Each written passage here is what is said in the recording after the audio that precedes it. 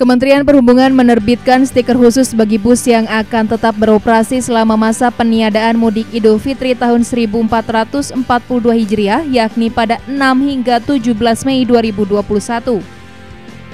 Dirjen Perhubungan Darat Budi Setiadi menyampaikan kendaraan berstiker ini akan digunakan untuk mengangkut penumpang dengan keperluan selain mudik sesuai dengan ketentuan Surat Edaran Satgas Nomor 13 Tahun 2021 dan Peraturan Menteri Perhubungan Nomor 13 Tahun 2021 dalam masa pelanggaran mudik.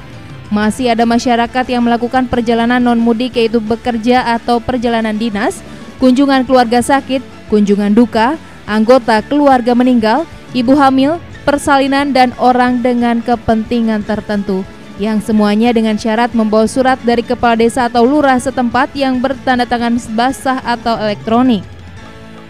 Stiker khusus ini bukan melayani pemudik, tapi masyarakat yang melakukan perjalanan selain mudik dan telah memenuhi syarat serta ketentuan sesuai peraturan dari Satgas dan Kementerian Perhubungan.